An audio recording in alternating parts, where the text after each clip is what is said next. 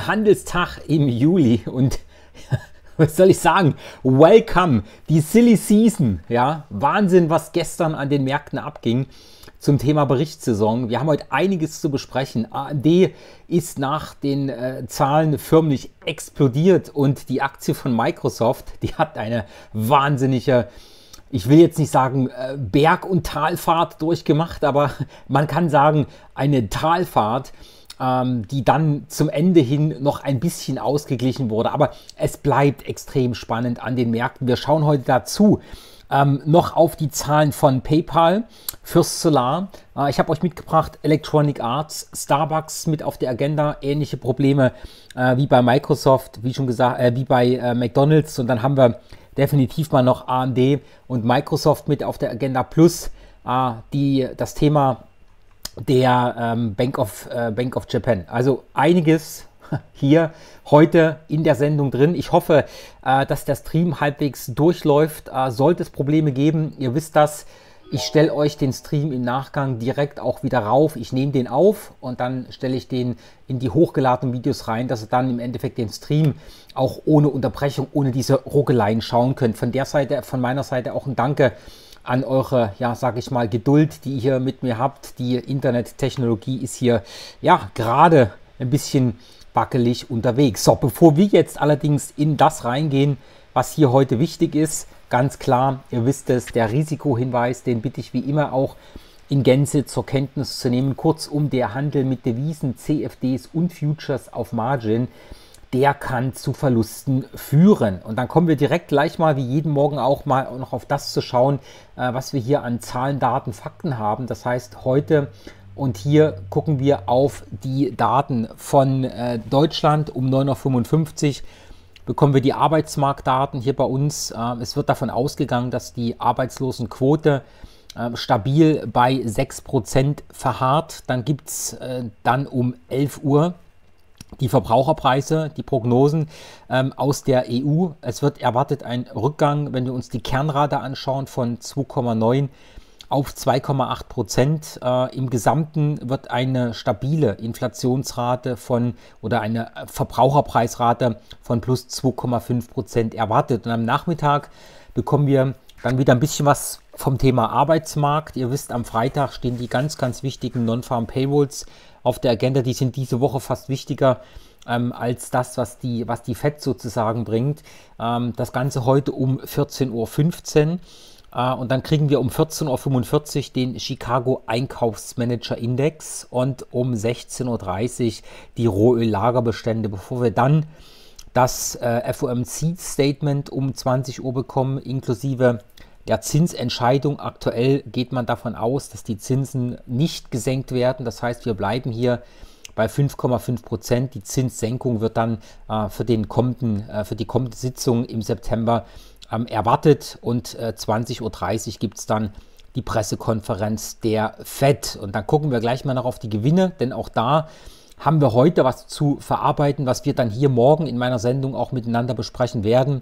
Das heißt, wir kriegen heute definitiv äh, die Zahlen von Meta, äh, wir kriegen die Zahlen von Boeing. Das ähm, gut, Boeing wird jetzt nicht so gigantischen Ausmaß haben, ähm, aber wenn wir auf Technologie schauen, äh, definitiv ähm, Meta. Und da müssen wir schauen, wie es dort weitergeht und das dürfte dann auch den Markt bewegen ähm, ins Positive wie auch ins Negative. Das heißt, sollten wir dort auch sehr starke Reaktionen ins Positive reinbekommen, so wie wir das jetzt auch bei der AMD sehen, dann ist das natürlich etwas, was den Markt zunächst wieder etwas stützt. Ja. Gestern aber die Nvidia-Aktie 7% in den Keller gegangen.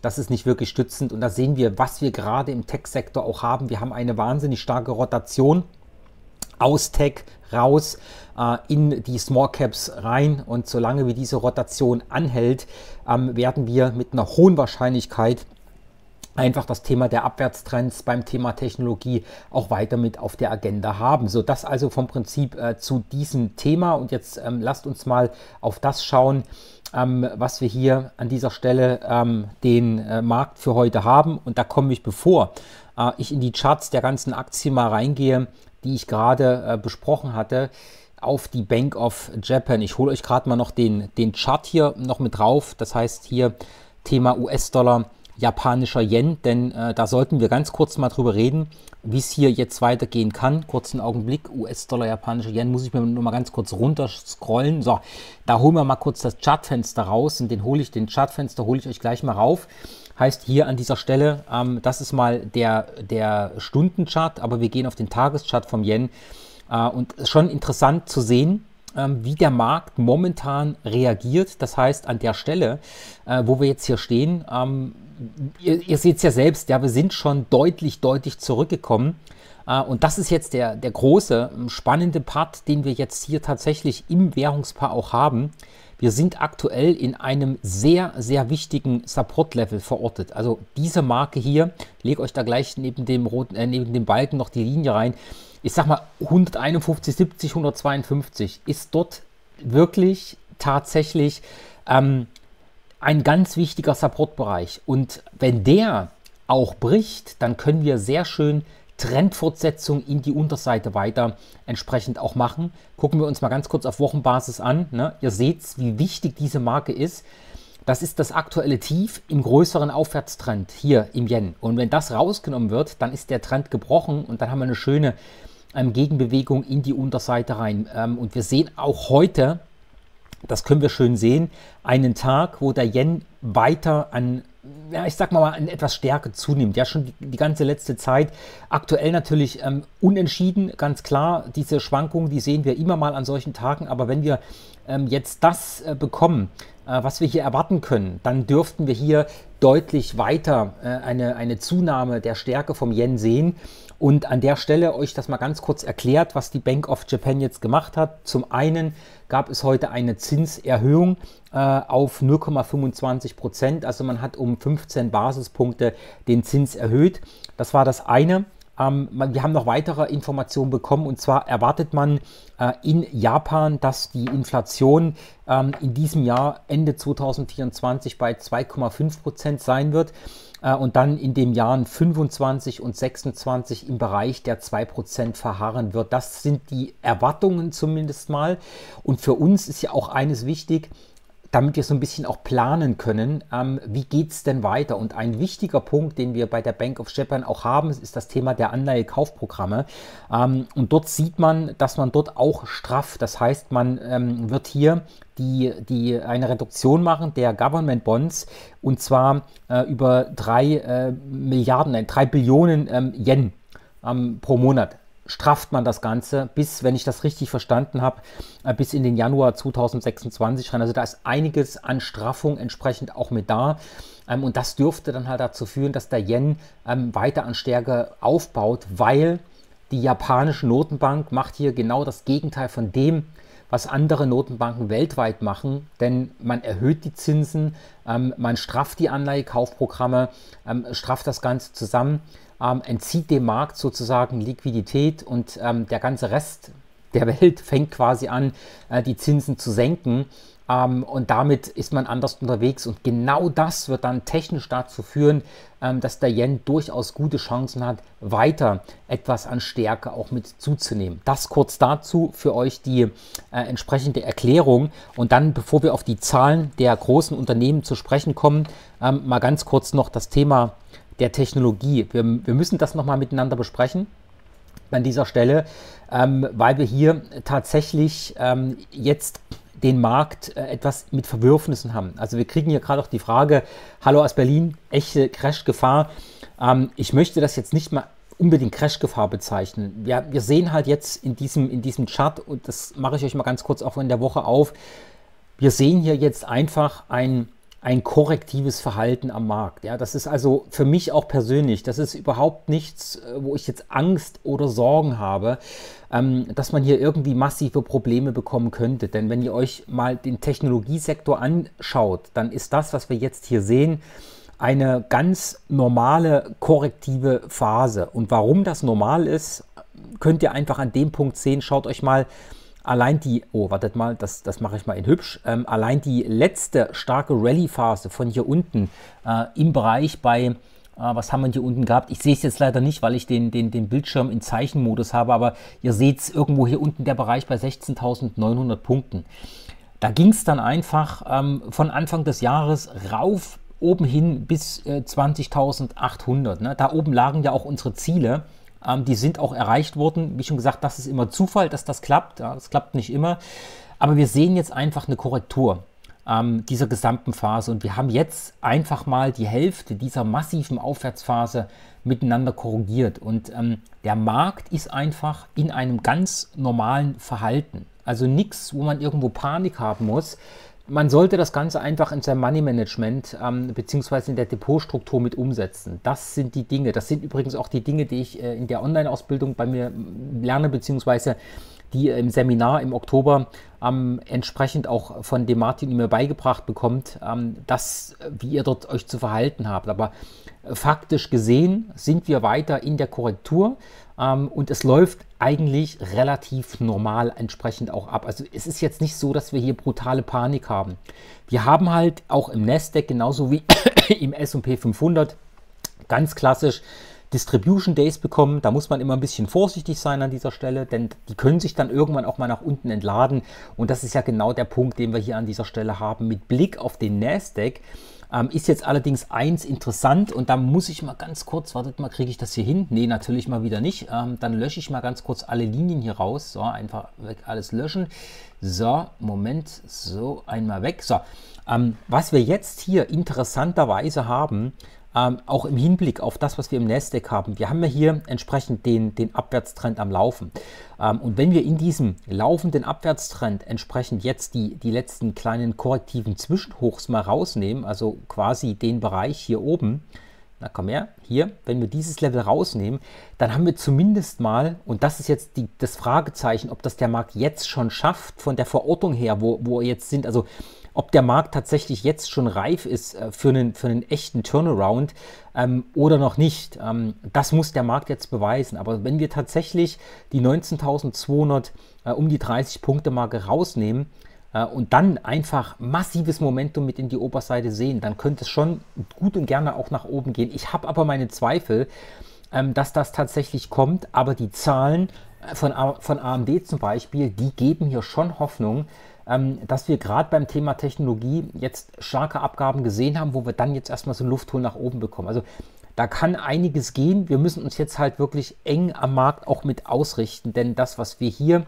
bei den Zahlen gestern gesehen haben, äh, wir haben gesehen, dass Microsoft durchaus Probleme hat. Deswegen ist der, der, der, Chart erstmal nach unten deutlich abgeschmiert. Und wir sehen, was bei AMD los ist, dass die Sorgen unbegründet gewesen sind, dass äh, der, der neue ähm, AI-Chip, den man hat, möglicherweise doch nicht so stark verkauft wird, ähm, wie das zunächst angenommen wurde. Also das sind mal die Themen, die wir hier auf der Agenda haben. Und das ist jetzt halt auch der Spielball, dieses schnelle äh, Hin und Her an dieser Stelle. Also das Thema ist, ist da und ähm, das müssen wir mal miteinander bearbeiten. So.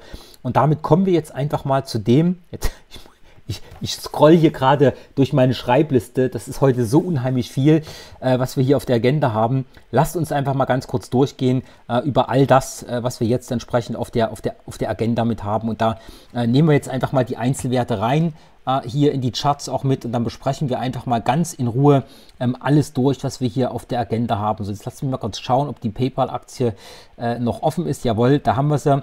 Also, passt auf, PayPal mache ich euch gleich mal mit auf. Hier ist der Chart der PayPal-Aktie.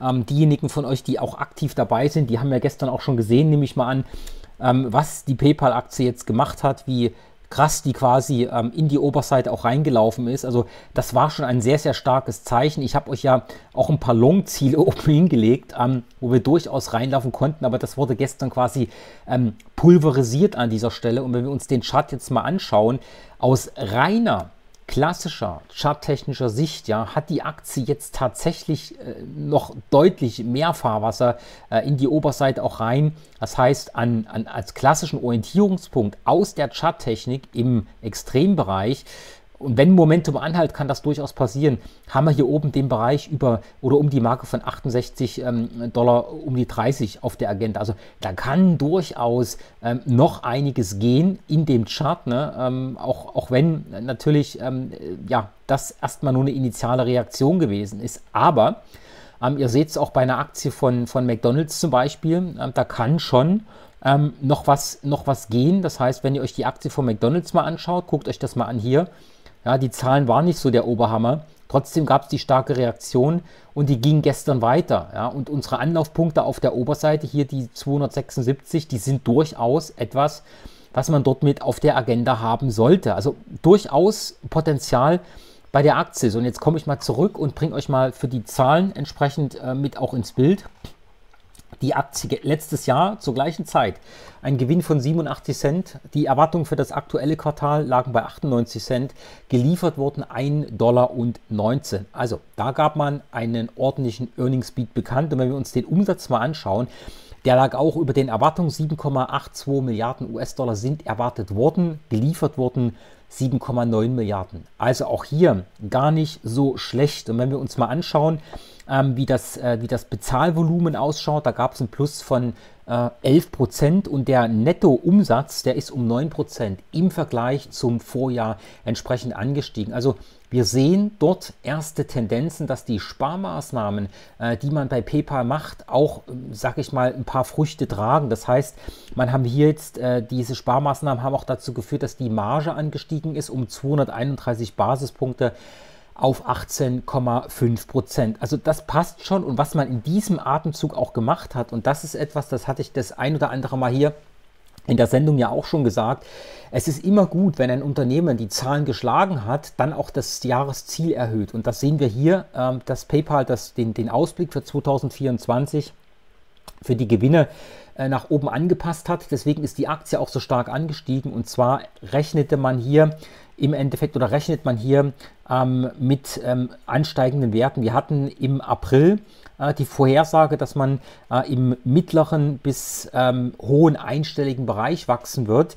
Ähm, und jetzt hat man äh, jetzt auf der Agenda ähm, mittlere zweistellige Werte, also in den, in den, in den, in den, also über 10, zwischen 10 und 20. Ähm, und das ist schon schön für das, für das Gewinn pro Aktie, dass man dort auch angepackt hat und sozusagen die Dinge erhöht hat. Wichtig ist jetzt dann für die Folgequartale, dass man halt auch weiter kompetitiv bleibt. Das heißt, dass man auch sieht, dass jetzt diese auch Erhöhung der Marge äh, nicht nur aufgrund von Sparmaßnahmen gekommen ist, sondern dass man auch den, sag ich mal, Turnaround schafft, dass man mit den eigenen Produkten am Markt wieder mehr Fuß fasst. Das müssen die folgenden Quartale zeigen, aber wenn der Markt das Ganze jetzt auch anfängt einzupreisen, haben wir schon durchaus kurzfristig zumindest mal ein bisschen Luft in die Oberseite entsprechend auch mit rein. So, dann kommen wir mal ähm, weiter zum Aktienbereich und da möchte ich mit euch, heute gehe ich einfach mal auch ein paar Aktien durch, die wir hier sonst nicht so auf der Agenda haben. Ähm, und zwar, kurzen Augenblick, jetzt die nächste Aktie auf der Agenda und zwar Electronic Arts. Die lege ich euch auch direkt mal in den Chart mit rein. Die haben wir hier äh, auf der Agenda. Und was ihr hier schon schön sehen könnt, ist, die Aktie ähm, ist in einem intakten Aufwärtstrend verortet. Und das ist schon auch hier ein sehr, sehr schönes Zeichen. Und was wir jetzt nach den Zahlen an Reaktion hatten hier oben, also ihr seht ja an der Stelle auch das Thema Pre-Earnings Trade ist ja sehr stark angelaufen und es gab jetzt gestern zumindest mal nachbörslich keinen Abverkauf. Also man ist weit nach oben gefallen. Nach den Zahlen gab es keinen Abverkauf. Das ist schon ein, ein deutlich positives Zeichen. Und wenn wir uns jetzt mal an dieser Stelle die Zahlen auch anschauen, die sind wirklich extrem gut gewesen mit Blick auf das, was erwartet wurde. Das heißt, der Umsatz, da hatte man ähm, 1,21 Milliarden erwartet, geliefert wurden 2,6, äh, 1,26 Milliarden. Und bei den Gewinn lagen die Erwartung bei 41 Cent und ähm, geliefert wurden 1 Dollar und 4. Also das zumindest mal sehr stark. Das passt zum Aufwärtstrend. Und äh, wenn wir uns mal die Zukunft anschauen, die schaut bei Electronic Arts auch vernünftig aus. Wir haben ähm, durchaus sehr, sehr starke Produkte in der Pipeline. Da kann ich mal beispielsweise nennen ähm, das Thema ähm, EA FC24, also die Fußballspiele sozusagen, 24 und 25. Bei, dem, bei der 24er äh, Version hat man sehr, sehr robuste Verkäufe gemeldet. Ähm, man hat einen sehr, sehr optimistischen Ausblick für die Folgeversion, für die 25er Version gebracht. Äh, und man hat auch einen sehr, sehr schönen, starken Trend äh, im Bereich ähm, College Football 25. Äh, also das ist durchaus sehr interessant. Und was wir hier an dieser Stelle auch sehen, ist mal die Vorausschau für die, für die Buchungslage. Ähm, und die lag oder liegt jetzt hier ähm, für, das, für, die, für die nächste Zeit dann zwischen 1,95 Dollar, äh, 1,95 und 2,95 Milliarden US-Dollar. Ähm, und der Markt hatte sich am unteren Ende dieser Range orientiert, nämlich bei 1,95 Milliarden. Also das passt alles ins Bild. Man ist ja stärker unterwegs, als die Analysten das erwartet haben. Und das ist auch ein starkes Zeichen. Das heißt jetzt hier, mit Blick nochmal ganz kurz zurück in den Chart rein, den ihr hier an dieser Stelle entsprechend auch mit habt, ähm, durchaus deutliches Potenzial in die Oberseite weiter rein. Ne? Also das seht ihr auch hier, der Bereich oben, die alten Hochs, das Schöne hier in diesem kurzfristigen Bereich, es ist rausgenommen worden. Ähm, schön auch durch die starke Bewegung oben rauf. Und wenn ihr euch den, den Trend mal ganz kurz anschaut, dann seht ihr halt eins, was immer gut funktioniert. Und zwar, das ist das Thema Handel aus der Korrektur. Ne? Wir haben einen soliden Aufwärtstrend und es gab immer schöne Korrekturen, die Umkehrmuster, Umkehrmuster, Umkehrmuster, Umkehrmuster. Genau das könnt ihr hier machen. Das heißt, jetzt müssen wir einfach mal schauen, wie weit die Aktie entsprechend läuft von der klassischen Charttechnik. Äh, wenn wir mal den Markt nach oben hin skalieren, wäre theoretischerweise hier Luft oben rein äh, bis in den Bereich 156 Dollar. Ähm, das ist jetzt natürlich das Fragezeichen, ob der Markt das einfach so macht. Aber äh, wenn wir uns das ganze Thema mal anschauen, hier die letzte Korrektur beispielsweise, ne, da sehen wir, da haben wir die Ziele gut erreicht. Ähm, bei der Korrektur davor quasi hier an dieser Stelle sind die Ziele auch ähm, erreicht worden. Also wir haben schon die Chancen, ähm, dass das tatsächlich auch erreicht wird. Und das sollten wir äh, bei einer Aktie von Electronic Arts tatsächlich mit äh, auf der Agenda haben. So, dann kommen wir jetzt mal äh, von der Electronic Arts noch zum, zum Thema Restaurants bzw. Starbucks, um das mal auf den Punkt zu bringen. Die Aktie hier, kurzen Augenblick, wo habe ich sie hingelegt? Da, also nicht ich, sondern äh, der Computer. Ähm, was wir hier bei einer Starbucks-Aktie sehen, äh, ist mal ähm, definitiv ein solider Abwärtstrend, den wir hier an dieser Stelle haben. Aber ähm, die Aktie gestern nach den Zahlen angestiegen. Äh, erstmal ein solides Plus als Reaktion auf 78 Dollar. Was haben wir gehabt? 73. Also wir sind schon ähm, schön stark oben rauf gelaufen. Positive Reaktion an dieser Stelle auf die Zahlen. Und die Zahlen per se an sich, ähnlich wie bei McDonald's, eigentlich, ähm, naja, nicht unbedingt, dass man sich hinstellt und sagt, yay, Knaller, muss ich unbedingt kaufen. Ne? So ist es nicht. Ähm, Gewinn pro Aktie war erwartet bei, 8, äh, bei 93 Cent. Das ist auch geliefert worden. Im Vorjahresquartal hatte man einen Gewinn von 99 Cent. Also da kräftig in die Unterseite rein. Und wenn wir uns mal den Umsatz anschauen, der lag 1% unter dem Vorjahr und auch unter den Erwartungen. 9,25 Milliarden sind erwartet worden, 9,1 Milliarde sind es gewesen. Da hat man also eine ordentliche Verfehlung entsprechend gehabt und man hat bei Starbucks die gleichen Probleme äh, wie bei McDonald's. Es kommen einfach weniger Leute in die Geschäfte und die, die reinkommen, gegen weniger Geld aus, einfach weil man weniger in der Tasche hat und vielleicht sich auch überlegt, ob 7 oder 8 Dollar für eine normale Tasse Kaffee oder für, je nachdem, wie man die Portionsgrößen für sich auch nimmt, ne? aber wenn du halt einfach mal überlegst, was dort ein Kaffee kostet und ähm, woanders ein Kaffee kostet und wenn du sparen musst, dann überlegst du dir dreimal, ob du so viel Geld für ein bisschen mehr Lebensgefühl auf den Tisch legst oder ob du sagst, okay, dann koche ich meinen Kaffee zu Hause und nehme den mit oder ich kaufe ihn da, wo er etwas günstiger ist. Das sind, die, das sind die Probleme, die man dort momentan in den Geschäften auch hat. Das sieht man auch bei den Zahlen in den USA, sind die, äh, sind die Verkäufe ähm, in den vier Jahren um 2% zurückgegangen, in, ähm, außerhalb von den USA, äh, außer, außerhalb Nordamerikas um 7% und im zweitwichtigsten Markt, das ist China, äh, sogar um 14% im letzten Quartal zurück zurückgegangen und das sind keine guten Aussichten. Und das Management sagt selbst, das wird jetzt erstmal eine ganze Weile noch so bleiben. Und jetzt komme ich an dieser Stelle nochmal auf das zurück, was ich euch schon mal erklärt habe mit den Zinssenkungen in den USA auch. Wenn die jetzt kommen, ist das zunächst erstmal positiv, aber bis sich das dann entsprechend durchsetzt, auch in den Portemonnaies der Kunden, wird das noch eine ganze Weile dauern. Also das geht nicht von heute auf morgen. Und deswegen sagt man auch hier, wir müssen da ein bisschen vorsichtig sein. Und wir haben jetzt eine Aufwärtsphase, ganz klar, die sehen wir auch da. Und wenn die sich fortsetzt, haben wir durchaus auch ein paar Chancen in die Oberseite rein.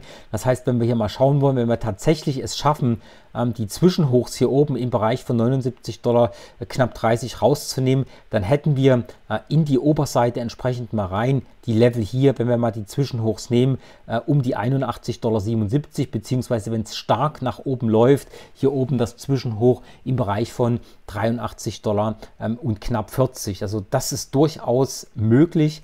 Äh, dass wir das mit auf der Agenda haben äh, bei einer Aktie von Starbucks. So, jetzt muss ich mal schauen, dass ich jetzt hier in meiner Liste weitermache und euch ähm, sozusagen nichts äh, verpasse.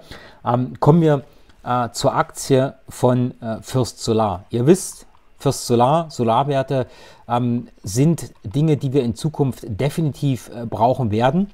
Ah, und wenn wir uns den Chart der First Solar Aktie mal angucken, wer mir hier regelmäßig folgt, weiß, wir, haben die Aktie schon öfter auf der Agenda gehabt. Äh, wir sind mal von der reinen Charttechnik in einem ganz klassischen Abwärtstrend entsprechend äh, verortet hier an dieser Stelle. Ähm, also ja, ganz klassisch, ganz klar, natürlich auch mit da. Und wenn wir uns den Chart per se an dieser Stelle einfach mal anschauen, ne, Abwärtstrend ist da ging vor den Zahlen auch kräftig in die Unterseite rein. Äh, was jetzt an dieser Stelle wichtig ist, ist, was kommt hier unten am Zwischentief bei 207? Weiterer Abverkauf ähm, oder ein tatsächlicher Bounce nach oben nachbörslich? Ist die Aktie erstmal positiv oder hat die Aktie positiv reagiert? Ähm, steht momentan im nachbörslichen Handel bei gut 216 Dollar, also irgendwo in diesem Bereich hier, wo jetzt die blaue Linie liegt. Äh, das zumindest mal positiv zu sehen. Und wenn das tatsächlich dann weiter sich positiv entwickelt, wäre eine Sache stark. Wenn die Aktie tatsächlich es schafft, über die 232 drüber zu laufen, dann hätten wir zumindest erstmal kurzfristig einen Aufwärtstrend auf Tagesbasis, der sich dann äh, zunächst in Richtung 240 ähm, beziehungsweise in den Abverkauf bei 253, 54 fortentwickeln kann. Das müssen wir aber erstmal sehen, weil äh, das Management hat sich ein bisschen verhalten ge geäußert. Aber kommen wir zunächst mal äh, zu den Zahlen und die sind der Hammer, Leute. Ähm, beim Gewinn pro Aktie sind 2,71 Dollar erwartet worden, 3,25 Dollar sind geliefert worden. Ähm, beim Umsatz 951 Millionen sind erwartet worden, geliefert worden 1,01 Milliarden US-Dollar. Das sind wirklich Top-Zahlen. Und beim Nettoeinkommen, da gab es eine, eine, eine Steigerung von mehr als 100 Prozent. Im letzten Jahr um diese Zeit hatte man ein Nettoeinkommen von 171 Millionen US-Dollar. Jetzt aktuell sind es 349. Also da sehen wir mal, dass die Geschäfte anfangen wieder zu laufen. Ähm, aber ähm, man ist halt ein bisschen vorsichtig. Im Normalfall, wie schon gesagt, erhöhen Unternehmen den Ausblick. Wir haben jetzt hier allerdings keine Ausblickerhöhung bekommen. Und das wurde auch begründet. Für mich nachvollziehbar begründet. Ob es der Markt so sieht, müssen wir in den kommenden Tagen sehen. Man hat einfach gesagt, wegen dem Thema der Wahlen ist man etwas unsicher, weil einfach ähm, die Investoren, die Investments in solche Technologie momentan etwas zurückgestellt wird, weil man nicht genau weiß, wie das Wahlergebnis ausgeht. Faktisch ist aber eins, Erstens Inflation Reduction Act, da wird man nicht drum rumkommen, das Thema Solar weiter auszubauen, das ist Nummer eins. Äh, Nummer zwei ist das ganze Thema, Thema der Datencenter. Es wird seitens der Datencenter-Betreiber investiert in Energieproduktion. Und da spielt ja das Thema Solar eine ganz, ganz große Rolle. Nummer drei, das Thema ähm, Krypto, Mining. Das braucht verdammt viel Energie. So, das Thema Krypto wird bestehen bleiben. Heißt also, dort wird auch viel Energie gebraucht und dort wird auch in grüne Energie investiert und da spielt halt Solar eine große Rolle. Und Nummer vier ist, dass diese Dinge, die ich gerade genannt habe, plus die Tatsache, dass First Solar in den USA produziert, mal ein riesengroßer Vorteil für First Solar, denn es gibt dort keine Strafzölle, auf, weil man halt in, dem, in den USA produziert. Heißt also an dieser Stelle, die Aktie oder das Unternehmen per se ist schon sehr, sehr gut positioniert. Die Frage ist jetzt technisch nur, wann kommen die Institutionellen wieder zurück in die Aktien und fangen dort an, nach oben zu kaufen. Wenn du aktiv tradest, wie schon gesagt, kurzfristig, beide Seiten sind offen. Wenn wir unten drunter rutschen, was ich dir gerade gezeigt habe, dann wäre durchaus zunächst mal Luft. Jetzt komme ich nochmal kurz zum Chart zurück. Also wenn die Aktie tatsächlich nach der Erholung weiter abverkauft wird, wenn wir jetzt sozusagen Sell the News mehr oder weniger ähm, ja, mit, mit, mit auf der Agenda haben unter die Marke von 207 Dollar, hätten wir dann nach unten hin zunächst erstmal Luft hier ins Zwischentief im Bereich 182 um die 80. Also das Thema dort unten definitiv mal mit auf der Agenda haben, ist etwas ganz, ganz Wichtiges. So, und dann kommen wir jetzt mal ähm, von äh, ja, äh, Solar zur Technologie. Äh, und dann komme ich auch ähm, nach AMD und Microsoft zum Ende, sonst mache ich hier wieder bald eine Stunde Sendung. Ähm, mich würde übrigens mal interessieren, ob der Stream sauber heute durchläuft oder nicht. Da würde mich eine, eine Mitteilung einfach mal freuen. Und wir schauen jetzt mal äh, auf die Zahlen von AMD und äh, von, von, von äh, Microsoft. Wir starten zunächst mal ähm, mit der Aktie von, von AMD. Die habe ich euch jetzt hier mal ganz kurz auf dem, auf dem, auf dem Wochenchart sozusagen auch mitgebracht. Ähm, was wir hier haben, ähm, wie schon gesagt, im großen Bild, Abwärtstrend ist da, ganz klar, ganz klassisch haben wir hier, aber ähm, die Zahlen waren sehr, sehr schön, sehr, sehr gut und die Aktie ist nachbörslich ähm, stark nach oben gelaufen und zwar, jetzt muss ich euch die Werte mal ganz kurz raussuchen, AMD 7,7% auf 149,16. Also die Aktie steht jetzt tatsächlich hier äh, 149,16, also grob in diesem Bereich hier oben. Und wenn wir uns das mal auf Tagesbasis auch anschauen wollen, dann sehen wir, das war schon oder ist schon ein ziemlicher Lupf nach oben und der kurzfristige Abwärtstrend ist damit zunächst erstmal gebrochen und charttechnisch haben wir jetzt halt hier, äh, ihr seht selber auch hier oben in diesem Bereich um die knapp 157 beziehungsweise dann, äh, wenn wir noch ein Stückchen weiter höher gehen wollen, wäre dann extrem weit Luft oben rauf bis in den Bereich 186. Ich glaube, das wäre jetzt zu viel gesagt, dass man einfach direkt oben raufläuft, weil wir sehen weiterhin die Branchenrotation, ähm, ähm, das Thema mit auf der Agenda. Aber äh, hier an dieser Stelle haben wir halt Potenzial oben rein auch mittelfristig. Das ist ein wichtiger Punkt. Und die große, oder das, ich sag mal mal, worauf man bei Amazon, bei den Zahlen im Vorfeld, beziehungsweise für die Zahlen ganz genau geachtet hat, war halt das Thema, wie sieht es mit der Chip-Produktion aus? Weil ich hatte das euch in meiner Sendung auch schon mal gesagt, beim letzten großen Rutsch bei, bei, bei der AMD-Aktie nach unten, da galt die Sorge, dass es Stornierungen bei AMD gab für den, für den Chip, für die, für die, für die künstlichen, also für die AI-Chips sozusagen, der MI300. Das hat sich jetzt nicht bestätigt. Hier sieht ganz klar die Story so aus, es gibt eine intakte Nachfrage und und zwar auch eine steigende Nachfrage nach den Chips. Äh, und wenn wir uns das mal anschauen von den Zahlen her, Gewinn pro Aktie 69 Cent sind es gewesen, 68 Cent sind erwartet worden. Beim Umsatz lag man bei 5,84 über den erwarteten 5,72 Milliarden US-Dollar. Also man konnte hier beim Umsatz und beim Gewinn pro Aktie schlagen und das Nettoeinkommen auch hier stark ähm, ja, nach oben gelaufen. 265 Millionen US-Dollar sind es gewesen nach 27 Millionen im Vorjahr. Und das Schöne ist der Ausblick. Ja, weil man hatte ja die Sorge, es könnte Probleme geben, aber der Ausblick wirklich schön gelaufen. Fürs aktuelle Quartal äh, sollen die Verkäufe bei gut äh, 6,7 Milliarden US-Dollar liegen. Erwartet worden sind 6,81, äh, 6,61 entschuldigt. Also da liegt man auch oben drüber. Äh, und das Thema ähm, Data Center äh, GPU, das ist dieser MI300 Chip. Da hatte man im April einen, einen, einen, einen Umsatz für das laufende Geschäftsjahr von 4 Milliarden US-Dollar erwartet. Jetzt hat man das Ganze angehoben auf 4,5 Milliarden. Und das ist schon schön an dieser Stelle. Und genau das ist das, was der Markt auch sehen wollte, dass man dort sozusagen nicht die Problematik hatte, dass man Probleme ähm, im Kampf gegen Nvidia hat. Also man sieht schon, man kann weiter Pace aufnehmen und das hat jetzt zu dieser starken Reaktion nach oben auch geführt. So, und dann kommen wir jetzt final äh, zur Aktie von Microsoft. Und da, wartet mal, da muss ich mal ganz kurz den Chart euch noch mit raufholen.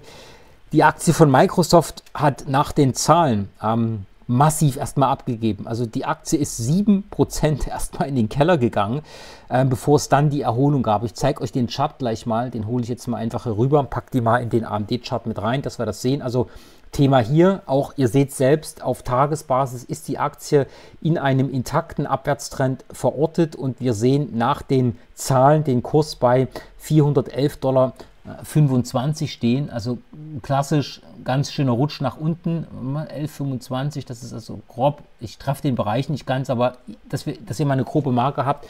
Wir sind tatsächlich in die Abwärtstrend-Fortsetzung gekommen, aber wie schon gesagt, direkt nach den Zahlen ist die Aktie um 7% gefallen, geschlossen hat sie dann äh, mit minus 2,7%.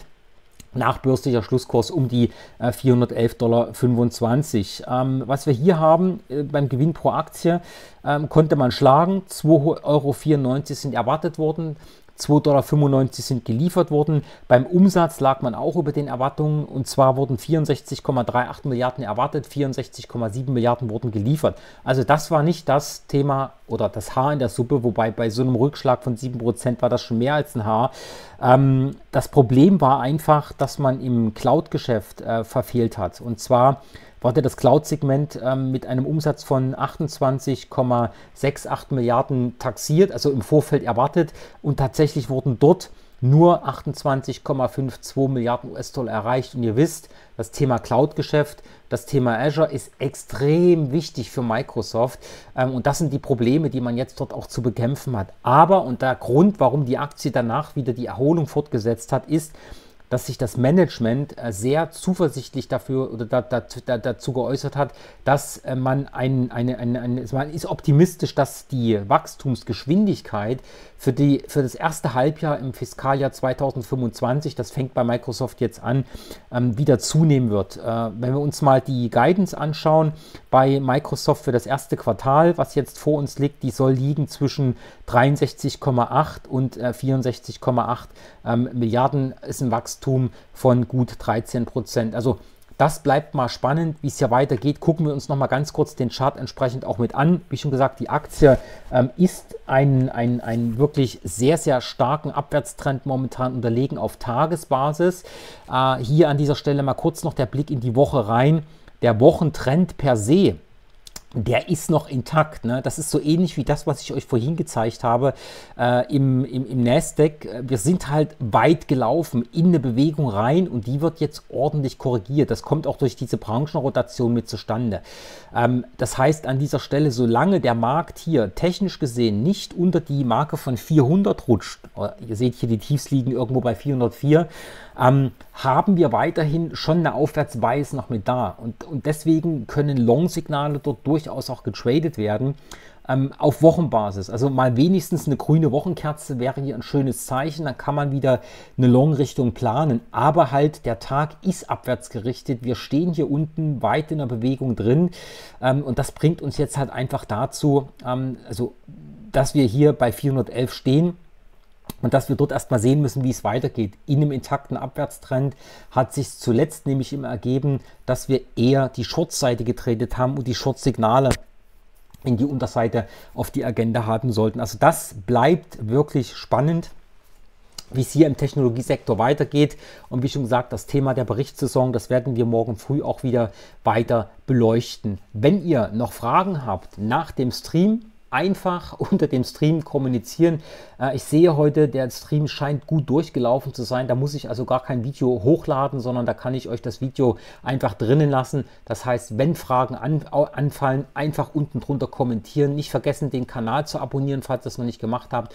Äh, und dann verpasst ihr keine Themen und keine Ausgaben bzw. keine Antworten mehr. In diesem Sinne wünsche ich euch einen entspannten Trading-Tag. Ich bin gespannt, was heute nach der FED passiert. Das arbeiten wir natürlich morgen ganz in Ruhe auf. Da wird es auch im Euro extrem interessant, wo der hinläuft. Ähm, Donald Trump möchte ja gerne einen deutlich schwächeren US-Dollar auch haben. Das dürfte dann bullisch für Gold sein.